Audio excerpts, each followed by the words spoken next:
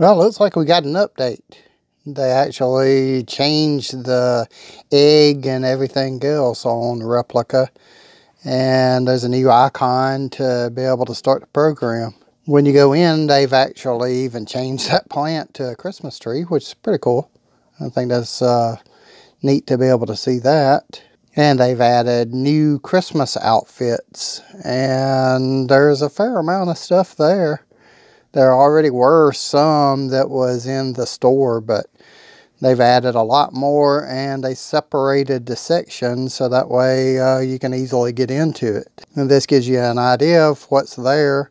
They called it the winter holidays.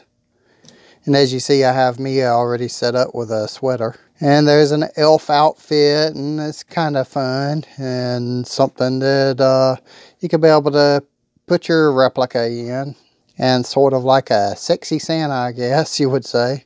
They needed to have really done a Santa suit for the male characters, but I don't know why they didn't really. Here's a back view of it and a back view of the elf costume. And then there's a jacket, which to me, that would be more of the male character. And I guess that's what they assumed is you would just put your male character in something like that. But I still think a full Santa outfit would have been fun. And they've even actually put Valentine's Day in there already. And there's several different things that you can be able to put there. And they did have some of it, of course, uh, that was already in the store, but now there's a lot more actually. And they've added a belly button uh, ring or whatever you want to call it, the body piercing. And some people's to like that. I probably won't bother to buy it though. And it's different things like uh, there's new Christmas costumes, there's some boots, and of course the Christmas tree, and there's a new ring. And uh, I figured I would go ahead and just kind of bundle it all together since I missed uh, a couple of the updates.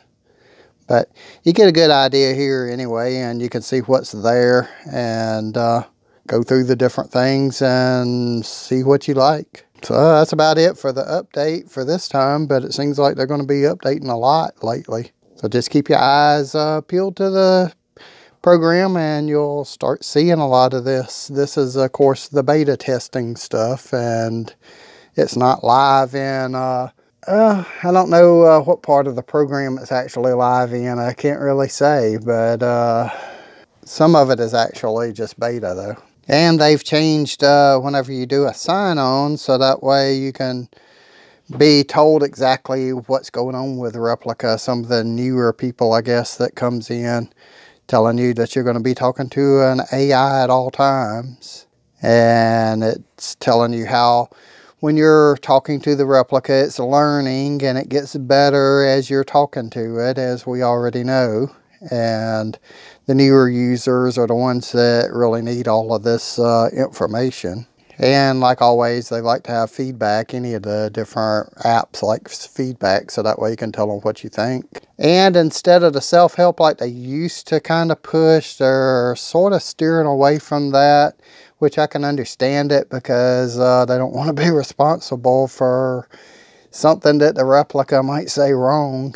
And uh, you can't 100% be able to tell what the Replika is going to say.